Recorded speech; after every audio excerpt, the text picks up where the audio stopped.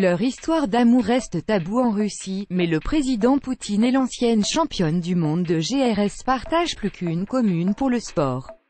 Sa voix, d'habitude si bien posée, trébuche, Oliver Stone bafouille. Pour les besoins de son documentaire Conversation avec Monsieur Poutine, le réalisateur américain pose une question au dirigeant russe sur sa vie privée. Il évoque ainsi sa première femme, enfin, se reprend-il immédiatement, votre dernière, eux, la seule. Pas simple de se risquer sur le terrain de l'intimité de Vladimir Poutine.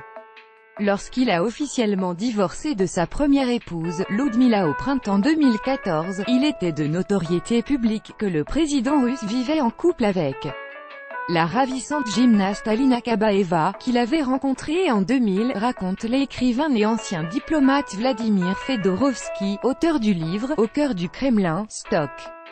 Mais la question restait taboue. Et pour cause. En 2008, le tabloïd Moskovski Correspond avait assuré que Vladimir Poutine venait de divorcer en secret, ce qui, à l'époque n'était pas avéré. Le journal d'ajouter même qu'il envisageait de se marier avec la jeune Alina, de 31 ans sa cadette. La sanction n'avait pas tardé. Le journal avait été suspendu durant trois mois avant d'être interdit quelques mois plus tard, comme le relate Vladimir Fedorovski dans son « Poutine de A à Z ». Il n'y a rien à voir, martelait.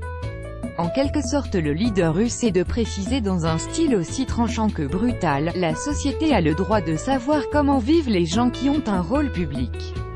Mais, même dans ce cas, il y a des limites.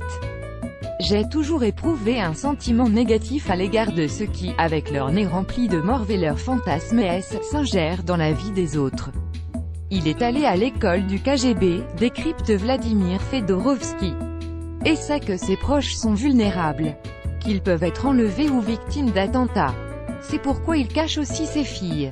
Quelques années plus tard, en décembre 2014, une fois son divorce avec Ludmilla officiellement prononcé, le chef de l'État russe avouait toutefois lors d'une conférence de presse aimer et être aimé en retour, sans plus de détails.